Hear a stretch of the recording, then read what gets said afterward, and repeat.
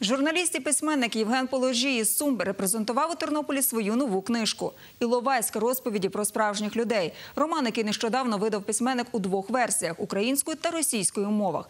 В обласну універсальну бібліотеку на зустріч із письменником прийшли читачі та працівники бібліотеки. Євген Положій – головний редактор Сумської суспільно-політичної газети «Панорама», автор багатьох прозових і поетичних книжок.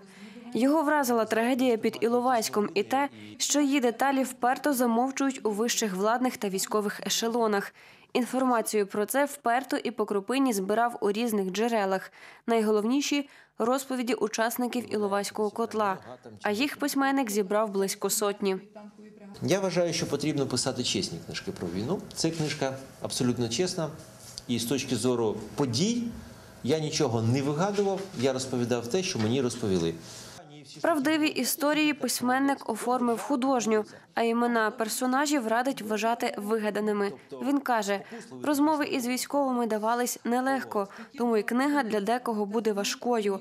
Проте, якщо вони це пережили, то і ми маємо прочитати, каже Євген Положій.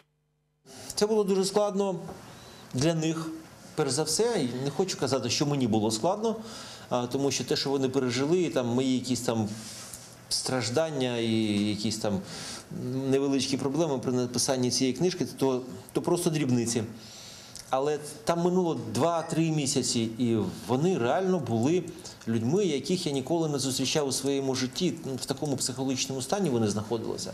Тому що розумієте, більшість з них це були просто мирні люди, такі як ми з вами.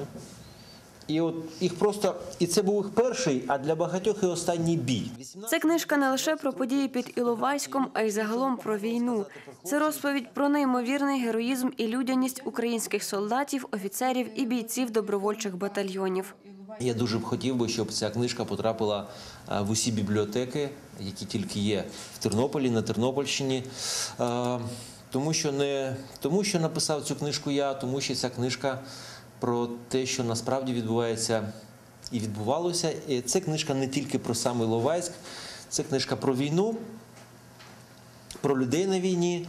А, бо поза війною о, в країні певно, що не існує людей зараз.